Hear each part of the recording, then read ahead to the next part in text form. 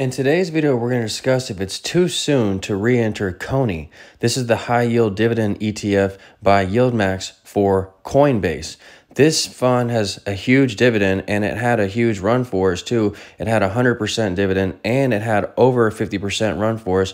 And now it's pulled back and we've scaled out of it. Is it time to scale back in? Also, if you stick around to the end of the video, I'll share with you what I'm doing with Cornerstone because there's some interesting developments happening there as well. So we're earning about 200,000 per year in dividends at this channel, living the fire lifestyle, and so can you. Email me for my e-guides at akintodd48 at gmail.com if you need help doing the same. Fire stands stands for financially independent, retire early.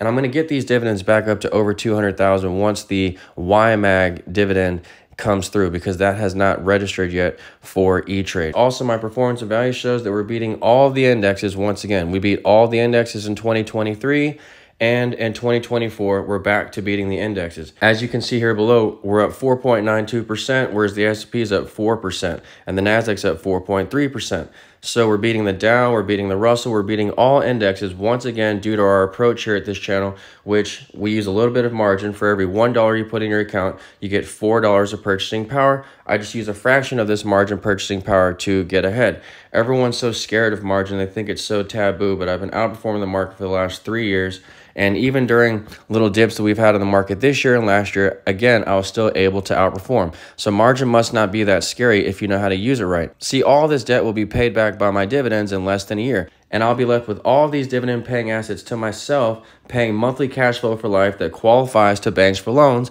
That's how you live the fire lifestyle, since trading gains and Bitcoin gains can't get you there. You need either a job or dividends. So this is how I'm doing it. And then my leverage just goes away by the end of the year, again, because my dividends pay back my margin. So there is no risk by the end of the year.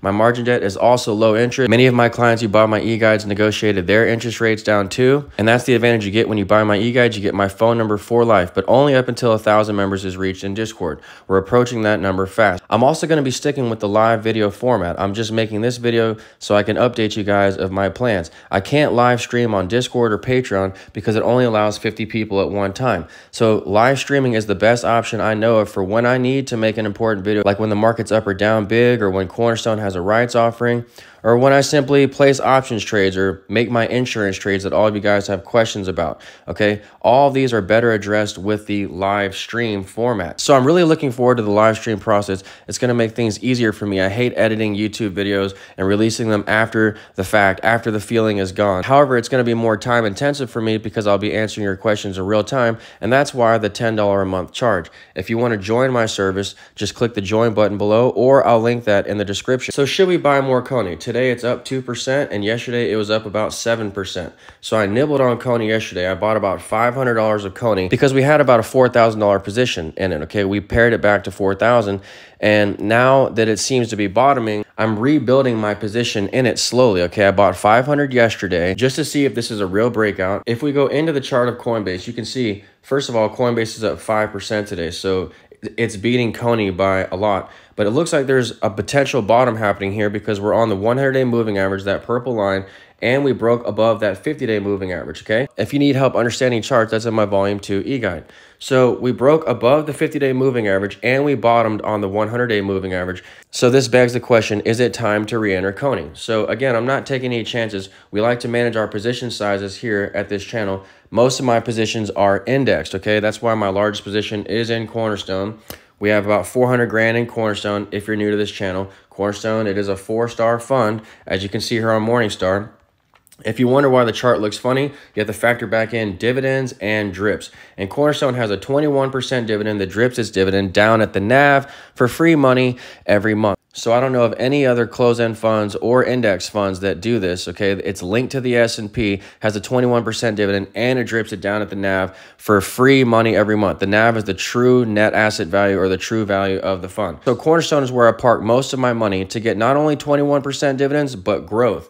And Defiance is where I park my money to get pure dividends. YieldMax, I get the dividends from them, but I also trade around them because they are stock specific. So you want to rebalance around the highs and lows in YieldMax. So I'm building back this CONY position slowly. It's hard not to own CONY if you want Bitcoin exposure and 10% of ARK exposure because CONY is around 10% of ARKK. And we sold OARK so we could eliminate that overlap risk with ARKK and CONY. And then we also sold puts on ARK and Bitcoin miners after the dips to get more premiums and to get more performance on the way back up because you get long exposure with these sold put options. Yesterday, Mara and Riot were up another few hundred dollars for us, and today, it, once again, we're up another few hundred dollars in Mara and Riot. Not only do you get these premiums where we sold them for thousands of dollars, so we received about $6,000 or so in premiums from selling Mara and Riot, 6000 just from clicking our mouse.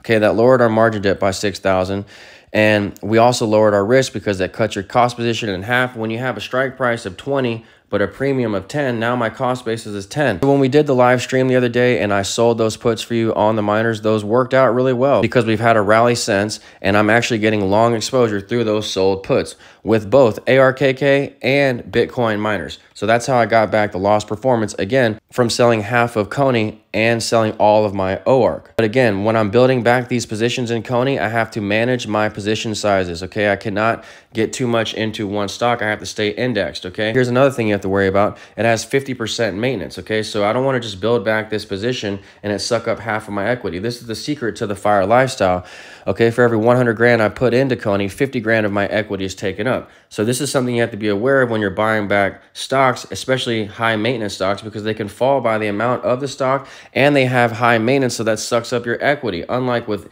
indexes, whereas Cornerstone, for example, that's 30% maintenance. And again, that's why I park so much of my money in Cornerstone. If you need help understanding maintenance, that's in my Volume 3 Margin E-Guide. And by the way, if you need help playing Cornerstone, that's in my Volume 4 E-Guide. Cornerstone, you have to time this fund around its rights offerings. Beware. Also, we alert you of the Cornerstone rights offering announcement in the Discord chat room. That's why we started the Discord chat room to begin with. We're almost a thousand members strong there now. And we started Discord again just so that we could have the rights offering announcement for Cornerstone and so that we could talk all things things fire related.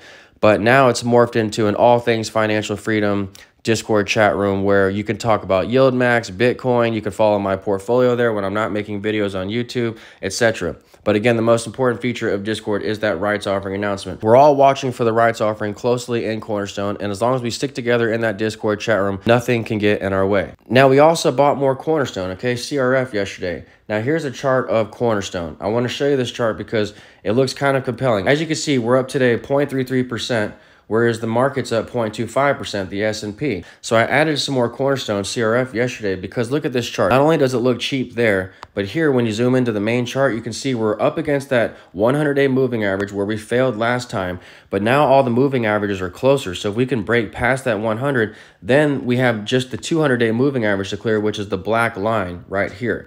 Okay, so if we can get up to this black line, the 200-day moving average, and clear that, then we could see maybe $8 a share. Okay, that's if the market stays strong. Maybe the market stays flat somewhat uh, as we consolidate around these highs. It looks like the market might be breaking out and Cornerstone is catching up. So this is how I get my performance every year is through Cornerstone. Will these play catch up? I don't know. I don't know why closed-end funds have had a slow year to start 2024, but usually the premiums in Cornerstone average around 20 to 30%. Plus you get the 20% dividend and you can drip the dividend down at the NAV. Okay, so either way, I don't make predictions in anything. Okay, the dividends will cash flow this asset in less than five years, which covers all losses, and the payback period in Cornerstone is still quicker than real estate. Real estate takes about 15 years, Cornerstone takes five years because a 20% dividend times five years is 100%. It doesn't matter if the stock goes down, if you keep getting the dividend, you cash flow. Okay. And then also the dividend just pays down our margin and then we're living financially free yet another day. Again, just remember to time Cornerstone around its rights offering. And that's what my volume four e-guide instruction on how to do. And remember, all my videos in the future will be live. So I won't be making any more videos like this. Okay. Everything again will be live. It's more fun for me like that. It's more interactive for everyone else, but it is more time intensive. And that's why I'm charging 10 a month. So if you think it's of any value to be with me during the ups and downs of the market, to trade the rights offerings in Cornerstone, or if you need help with some of my more advanced plays, plays like using options to get more income or to buy insurance, then consider this monthly option for 10 a month. Again, you can just click the join button below the video or I'll link it in the description below. And again, remember, if you need help doing what I'm doing, email me for my e-guides at akintodd48 at gmail.com. When you buy my e-guides, you get free access to the Discord chat room for life and my phone number for life, but only until a thousand members is reached in Discord. Okay, if you like the video, click like or subscribe, and I'll talk to you soon. Thanks.